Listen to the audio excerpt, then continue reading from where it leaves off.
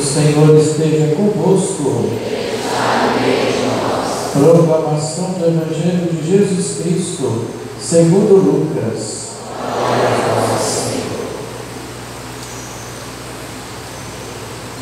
Naquele tempo, Jesus disse aos fariseus: Havia um homem rico que se vestia de roupas finas e elegantes e fazia festas esplêndidas todos os dias.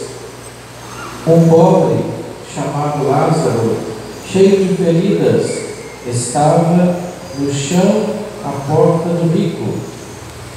Ele queria matar a fome com as sobras que caíam da mesa do rico. E além disso, vinham os cachorros lamber suas feridas. Quando o pobre morreu, os anjos levaram-no para junto de Abraão. Morreu também o rico e foi enterrado.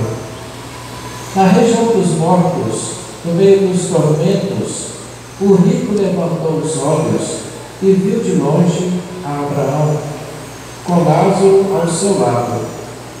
Então gritou: Pai Abraão, de piedade de mim?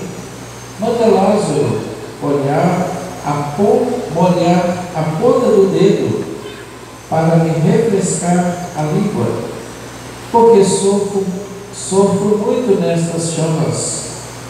Mas Abraão respondeu: Filho, lembra-te que tu recebeste teus bens durante a vida, e Lázaro, por sua vez, os males.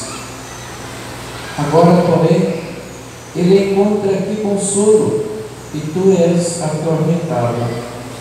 E além disso, há um grande abismo entre nós.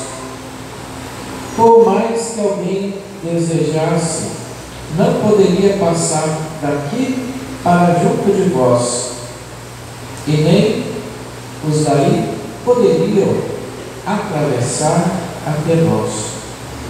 O rico insistiu: Pai, eu te suplico, manda Lázaro à casa de meu pai, porque eu tenho cinco irmãos.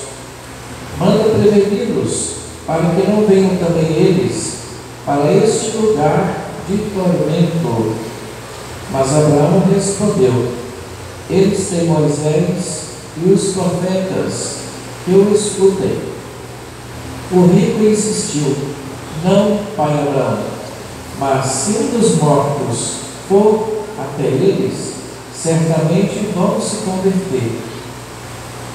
Mas Abraão lhe disse: Se não escutam a Moisés nem aos profetas, eles não escutarão, mesmo que alguém ressuscite dos mortos. Palavra da salvação.